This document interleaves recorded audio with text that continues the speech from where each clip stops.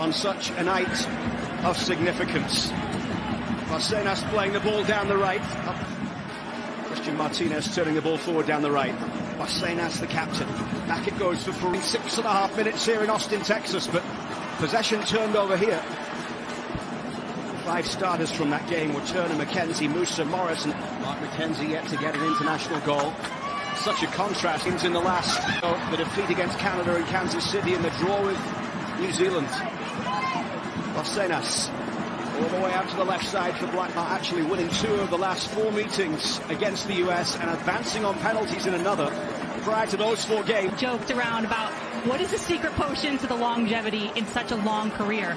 And he said to keep... That he was approaching this camp and his conversations with, with Pochettino about knowing Isaac. Picked up here by Barcenas. Plays for Mazatlan and MX. Out off Robinson here for a charge, including Greg Berhalter, who played against Panama back in January of 2019 in Glendale with a 3-0 win. Barcenas with the ball across goal.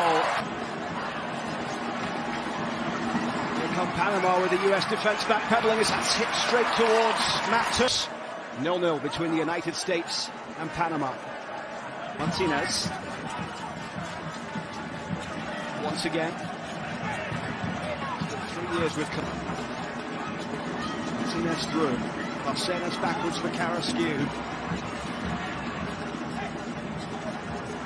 In Austin, Texas, 0-0 between the US and Panama. Panama coming forward here with Barcenas. We await the opening goal here at Q2 Stadium as Aaronson goes close, testing the Panama keeper. Transition a lot.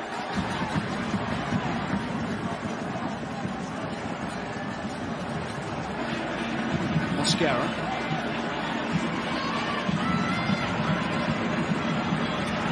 Well, eye towards that back. It is Barcenas. Made his debut against Wales back in November of 2020. Martinez. Barcenas here for Panama. Barcenas, great save, Turner! Barcenas.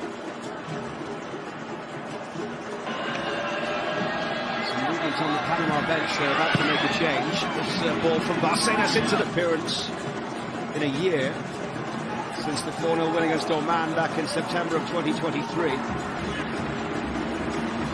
Barcenas down the left. This is the first game of two in this international window for both.